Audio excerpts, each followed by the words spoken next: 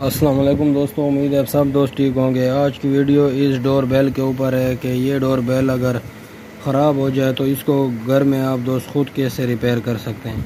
तो दोस्तों, इस डोर बेल के अंदर ये मसला है कि ये इसका स्पीड कम हो गई है। जब इसके पुश बटन को प्रेस करते हैं तो इसकी आवाज़ कम आती। कुछ अरसे पहले इसकी आवाज़ ठीक थी, अब इसकी आवाज़ स्लो हो गई तो ये क्या वजह हो सकता है? तो दोस्तों, इसके अंदर जो मसला है वो ये है कि इसका जो ये प्रिंट है ये बिल्कुल कमज़ोर हुआ पड़ा है। प्रिंट के अंदर से इसके स्पार्किंग निकलता है। तो अब इसका हल क्या है? तो उसका हल मैं आपको इस वीडियो में बताऊँगा। चलो तो दोस्तों, वीडियो शुरू करते हैं।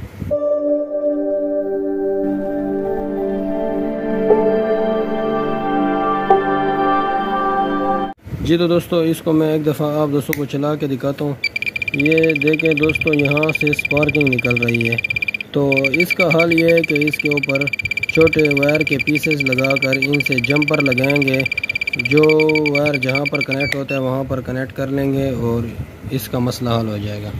तो मैं जल्दी जल्दी दोस्तों इसके ऊपर टाँके और वायर के पीस लगा कर आप दोस्तों के सामने हाजिर होता हूँ। जी तो दोस्तों डोर बेल रेडी हो गई है। तो इसके अंदर जो मसला था दोस्तों, वो ये था कि इसके जो ये प्रिंट है, ये प्रिंट कमज़ोर हुए थे और ये स्पार्किंग कर रहा था। तो वायर के पीसेस लगाने के बजाय मैंने इसके साथ एक और काम किया। इसके इस साइड पर ये, इस डायोड का एक पॉइंट नीचे इस किट में लगा हुआ था और साथ में ये पाँच वाट एक इशारिया पाँच किलो ओम का जो सफ़ेद रजिस्टर लगा हुआ है, इसकी वायर भी लगी हुई थी।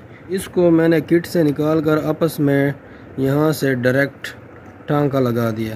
तो इसकी आवाज़ बिल्कुल ठीक हो गई है।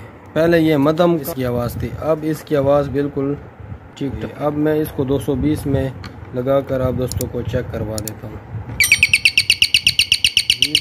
जी तो दोस्तों, इसकी आवाज़ आप दोस्त सुन रहे होंगे। ये बिल्कुल रेडी हो गई तो दोस्तों, ये काम आप घर में ख़ुद कर सकते हैं। आज की वीडियो यहीं तक थी। उम्मीद है आप दोस्तों को वीडियो पसंद आ गई होगी। थैंक्स फॉर वाचिंग अल्लाह हाफ़